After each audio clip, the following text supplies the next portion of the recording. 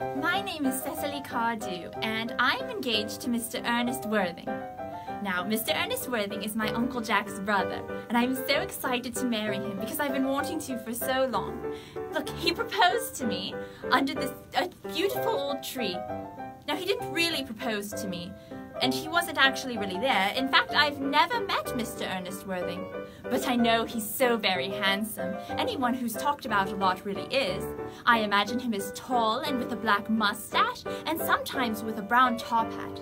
Oh, and I hope he wears yellow. I do love men who wear yellow. It is so very happy of them. Hello, my name is Algernon Moncrieff, and I am the star in the new play that Eden Troupe has presented, The Importance of Being Earnest. Hello, my name is Ernest Worthing. Uh, I'm a sort of a businessman. I work in investments, and I'm uh, currently about to propose to a wonderful girl named Gwendolen. I'm very excited. And I think she'll probably... Uncle Jack! Yeah, Cecily, Cecily, not right now. Busy.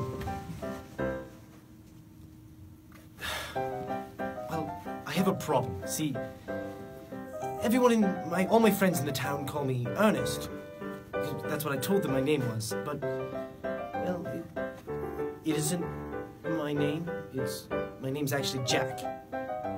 But the, the, the problem is, Gwendolen has a certain fancy with the name of Ernest and claims she, she doesn't want to marry anyone that isn't named Ernest. What really makes you love me? Oh, your name says it all. There's just something so wonderful and romantic about the name of Ernest. Don't you agree? It's it's just so earnest of you. I mean, what else? Well, what's your middle name? I don't have one. Well, Ernest really just covers it all, doesn't it? I'm really not sure what to do. I'm, I'm thinking maybe if I can just hold it, hold it up long enough that, that she thinks my name is Ernest, she can learn to love me for more things than just my name. I, maybe we can actually grow a deeper bond than just, you know, names.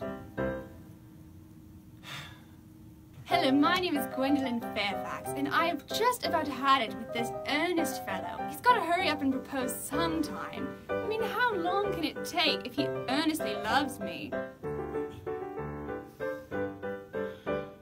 Mr. Worthy will never marry my daughter. I will not allow it. Of course, Gwendolen is under the impression that he is a perfectly, perfectly acceptable man to marry. She has no idea. I'm afraid I simply cannot accept Mr. Worthing's parentage, or lack thereof, as acceptable and a suitable match for my daughter. I'm Just gonna find her. Uncle Jack! Yes. Uncle Jack! yes, yes. There's, go- we're going to be in a show. yes. We're going to be in the importance of being earnest. Your brother is named Ernest, Uncle Jack. Yeah, yeah, my, my brother. Yes, it's going to be on Thursday night, Friday night, and Saturday night. And we're all going to be there. And Uncle Jack and I and Miss Prism and even your brother Ernest are going to be there. Isn't that right? Yeah, yes, Cecily. And then we're having an improv show, Saturday matinee. It's going to be so fun, Uncle Jack. I'm so excited. Yes, so, so am I, Cecily.